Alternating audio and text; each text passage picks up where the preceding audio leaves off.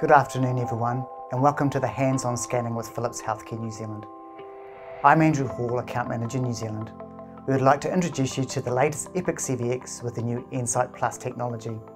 I'd also like to introduce you to the new X5-1c transthoracic transducer. The structure of this afternoon's presentation will be on 2D imaging followed by 3D transthoracic scanning. We have a comments box which people can ask questions at any time. We have a panel of specialists available to answer these questions including Professor Gillian Whalley and Tegan Meredith, Philips Modality Sales Specialist.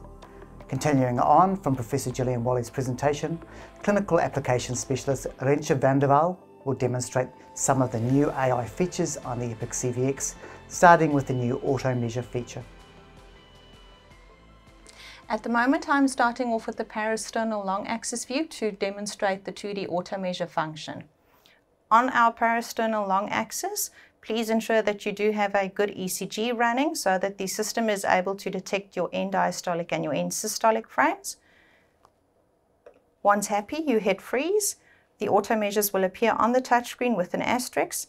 By selecting our left ventricle internal diameter and diastole, the system automatically jumps to the end diastolic frame and takes the measurements. Going to the systolic frame,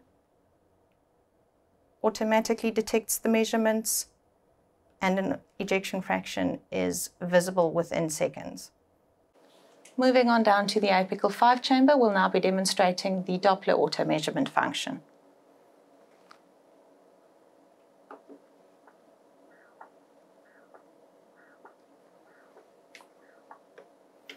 we hit freeze, we select the desired auto measurement from the touchscreen. Small edits are still able to be made either in review or in real time.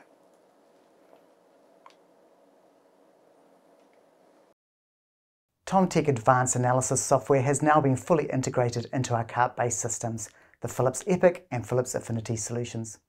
Rentje is now going to show the new LV AutoStrain, which uses Philips AI and TomTec's recognised strain software. The TomTec software is well recognised with hundreds of journal articles as reference. Auto view recognition and auto contour placement results in fast, robust and reproducible GLS measurements with a click of a button. Using the X-Matrix technology of the new X5-1c transducer, I'll be making use of the quick iRotate flyout option, which is available from the touchscreen to acquire my three different apical views. Please note that I'm not moving my hand as we are acquiring these images.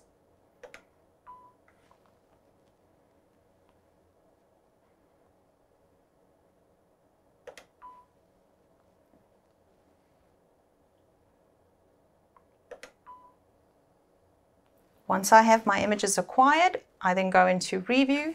I select my desired images and launch the AutoStrain LVQ app, which is available from the touchscreen.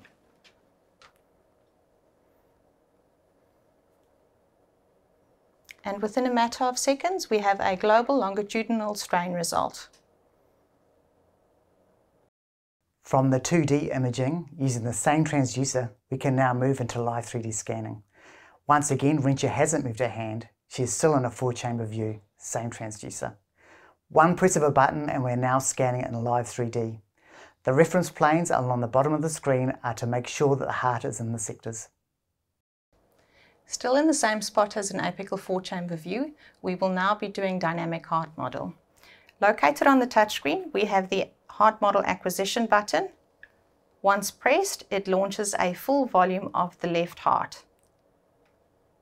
We acquire this. Once acquired, we then go into Review to select the desired image and launch the Dynamic Heart Model Q app, which is located on the touchscreen. The algorithm uses approximately 1,000 models to find the heart in the 3D volume, using the outflow tracts, mitral and tricuspid valves as landmarks. On the right-hand panel, please note that there are now end diastolic and end systolic volumes available for the left ventricle as well as left atrium, including the ejection fractions, and also the results are indexed according to the patient's body surface area. Further analysis of the 3D dataset in both TOE and transthoracic scanning, there are multiple tools available. We now have the new 3D rendering software called TrueVue. TrueVue brings a unique level of realism to the live 3D. When used in combination with TouchVue, users now have the ability to create a virtual light source which can be moved through the volume dataset. This can help to increase the diagnostic confidence when it is used to enhance specific imaging features that are not optimally displayed by 3D conventional rendering, including delineation of orifices, borders, cavities, cardiac masses, including their attachments and structural abnormalities. Using the X5-1c transducer, I have now acquired a 3D transthoracic view of the mitral valve. We now want to show you Cardiac TrueVue, which is a new 3D photorealistic rendering tool. It's also located on the touchscreen. Once enabled, a touch view becomes available. And from this, further manipulation is available of the data set and editing of the data set. You can rotate the data set. You can pinch and zoom.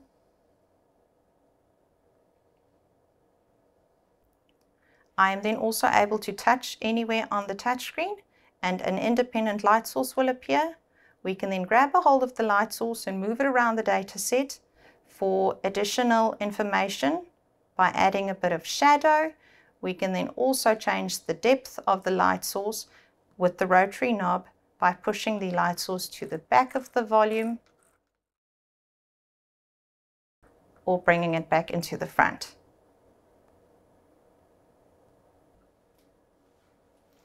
Using Collaboration Live, I will now give my modality sales specialist, Patrick Goodison, a call in Brisbane for his input on my 3D dataset.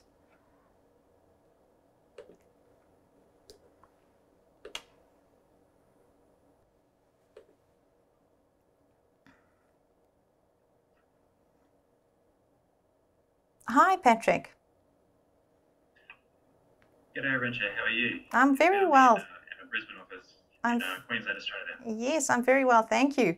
Would you be able to please assist me? I am struggling a bit to see my mitral valve orifice clearly. Would there be anything that you could suggest from your side, please? Absolutely, we can have a look. Can you just share your uh, screen control with me, please? Okay. I'm sharing, I'm giving you control as well. Lovely, I can see that coming up now.